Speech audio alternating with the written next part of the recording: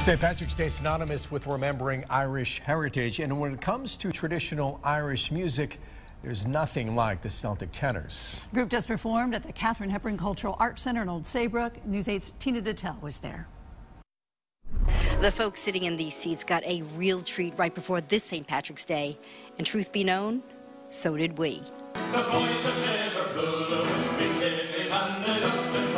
Much of our oral tradition, our sean-nós as we call it, um, is music that would have died out and was never written down. It was passed down from generation to generation.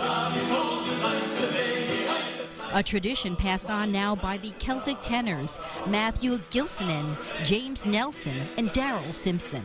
Some people have compared us to maybe the the uh, tenor version of Riverdance, maybe maybe making it a bit more not individually sexy, but maybe making it a bit more 21st century, perhaps. This talented trio brought their traditional Irish music and more.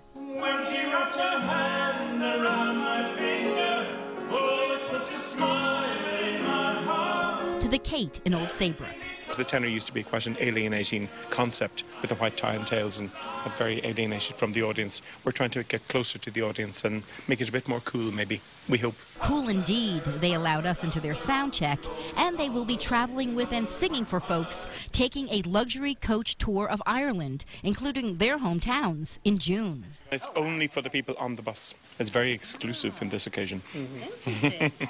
Charming, talented, and here now I think uh, America goes green the month of March. for our own exclusive.